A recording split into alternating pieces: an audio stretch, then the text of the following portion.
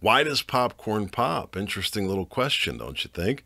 Used to be an answer I would give to people when they asked me some kind of bizarre question. It was my way of being kind of a smart aleck. But fact of the matter is, there is a reason why popcorn pops, and here's why. It turns out that inside that hard, dry kernel is a little bit of moisture. When you heat it up, the moisture expands and pops that hard outer shell.